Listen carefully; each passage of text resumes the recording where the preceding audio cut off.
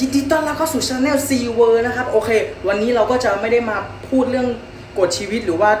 วิธีผลิตลูกอะไรคือ วันเนี้ยผมมีงานแล้วผมต้องมางานโดยที่ต้องปกติเขาก็ work from home ใช่ไหมคือแบบ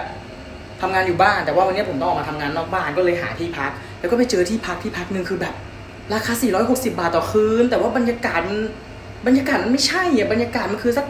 พันสองพันสามพันเผื่อสี่พันยังมีเป็นอะไรที่แบบคุ้มเวอร์ เป็นแบบห้องพักอยู่แถวรามคำแหง 24 คือโอ้ไม่รู้จะคุ้มยังไงแล้ว อธิบายไม่ถูกเลย เอาว่าเดี๋ยวตามไปดูกันดีกว่าว่าเป็นยังไงไปะปุ๊บ มีแอร์ปกติคือเป็นห้องแอร์ปกติอยู่แล้ว 460 นี่คือต้องได้ห้องแอร์แน่นอน แต่ที่ให้มาอีกกาน้ำร้อน แก้ว กาแฟ ชากาแฟ ตู้เย็นบานเบลเลอร์เลย ที่นั่งกินข้าวโหดูระบายอากาศโอเค ไปดูห้องน้ำกัน ห้องน้ำนี่คือ สวยไปไหม ราคานี้ห้องน้ำสวยไปไหม 460 บาทต่อคืนครับ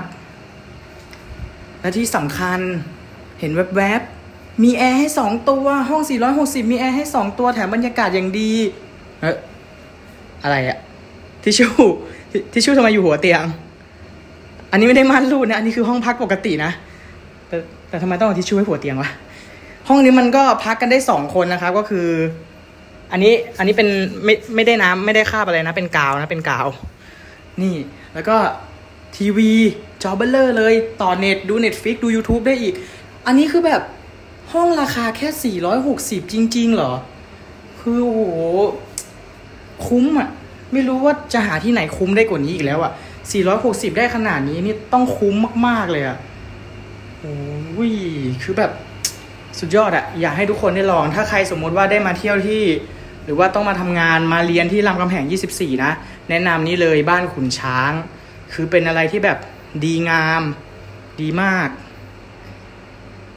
สุดๆ ไม่รู้จะบรรยายยังไงแล้วห้องราคาคุ้มมาก